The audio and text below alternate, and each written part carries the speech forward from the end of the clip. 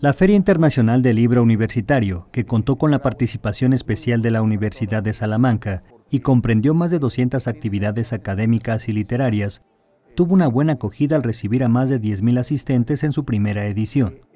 De acuerdo con datos de la Coordinación de Difusión Cultural de la Universidad Nacional Autónoma de México, destacó la presencia de estudiantes de nivel medio superior, académicos, docentes, investigadores, alumnos de posgrado, profesionales de libro, así como conferencistas.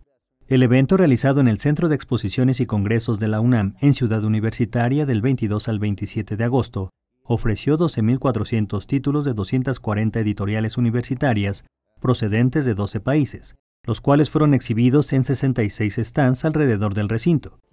La Universidad de Salamanca, que figuró como invitada de honor de este año, integró un programa de actividades culturales que se expandió a otros recintos de la UNAM y de la Ciudad de México.